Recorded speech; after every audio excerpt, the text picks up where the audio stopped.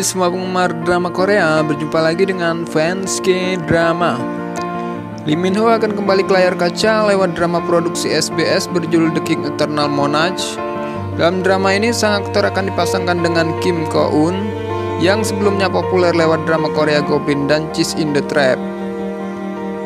Karena sebentar lagi akan tayang, kalian lebih baik simak ya beberapa fakta menarik mengenai The King Eternal Monarch 1. Comeback dari Lee Min Ho The King Eternal Monarch sendiri menjadi comeback dari Lee Min Ho ke layar kaca.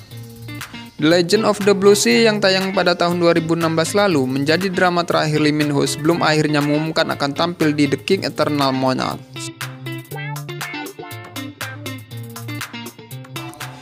Ya, ada rentan waktu yang cukup lama sejak main bareng John Ji Hyun di drama tersebut, Sampai akhirnya Lee Min Ho sendiri mengumumkan akan berakting di The King Eternal Monarch. Tak heran kalau para penggemar amat menantikan drama ini. Apakah kalian termasuk salah satunya? 2. Ditulis oleh Kim Moon Suk Salah satu faktor membuat drama Korea The King Eternal Monarch ditunggu-tunggu oleh para penggemar drama Korea adalah penulis skenario-nya.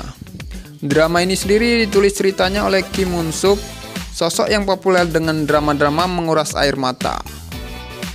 Kim Moon Suk sendiri merupakan sosok di balik suksesnya Goblin, Descendant of the Sun, dan Secret Garden.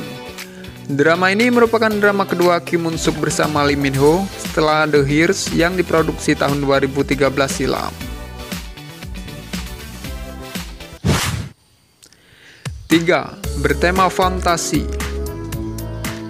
Belakangan banyak drama Korea populer yang bertema fantasi seperti Hotel de Luna hingga yang kini sedang tayang Hai Bye Mama. Drama Korea The King Eternal Monarch sendiri mengambil tema fantasi tentang dunia paralel antara monarki dan demokrasi. Lee Min Ho sendiri akan memerankan Kaisar Lee Kon yang akan berusaha menutup pintu gerbang paralel tersebut. Dalam perjalanannya, dia pun bertemu dengan karakter Kim Ko Eun di masa kini bernama Jung Taeul.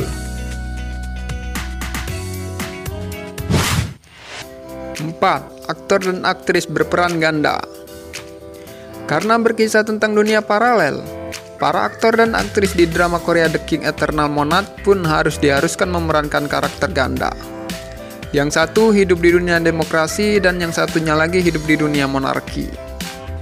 Kim Ko Eun sendiri memerankan karakter Jong Tae-ul, merupakan seorang detektif yang sejak kecil sangat ingin masuk ke dunia kepolisian.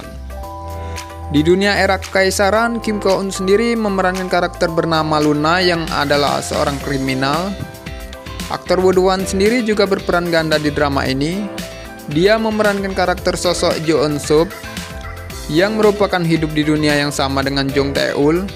Dia juga memerankan karakter Jo Young yang adalah bodyguard dari Likon di era kekaisaran.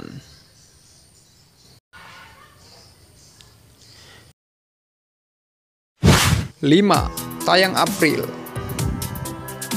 Drama Korea The King Eternal Monarch sendiri direncanakan tayang pada tanggal 17 April mendatang.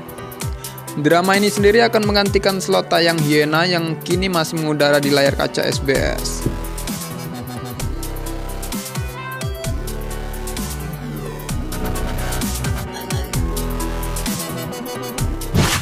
6. Disutradarai oleh Baek Sang Hoon Selain sang screenwriter, sutradara K-drama The King Eternal Monarch sendiri juga gak kalah hebatnya loh. Ia adalah Baek Sang Hoon yang juga merupakan sutradara dari banyak K-drama populer dan sukses.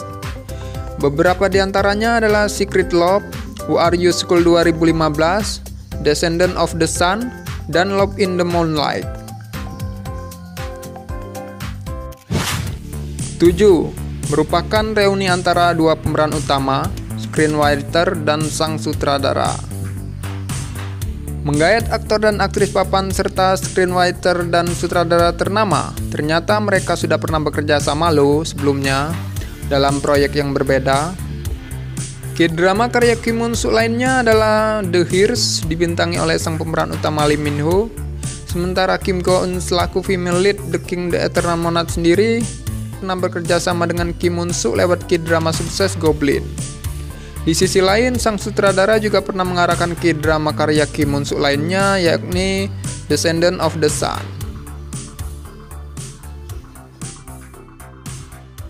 Ya, itulah tujuh fakta menarik mengenai drama Korea The King Eternal Monarch. Mungkin dari kalian ingin menambahkan yang lainnya, tulis di kolom komentar. Terima kasih buat kalian yang sudah bergabung ya. Sampai jumpa kembali. Bye.